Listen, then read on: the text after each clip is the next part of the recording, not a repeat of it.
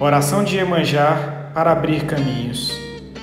Salve, estrela do mar, deusa poderosíssima, mãe e advogada de todos os que navegam no mar agitado da vida.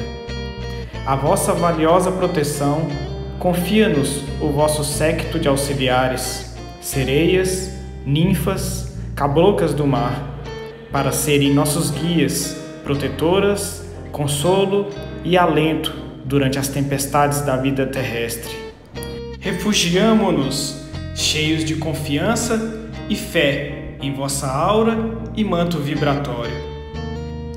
Seja nossa guia, seja nosso farol, seja sempre nossa brilhante estrela divina que nos orienta, a fim de que nunca pereçamos nem nos falte rumo da rota segura que nos fará desviar dos escolhos do mar agitado da vida material, para que eu possa trilhar o caminho vital com a mente limpa e o corpo sem os fluidos negativos que possam dificultar minhas atividades. Assim seja.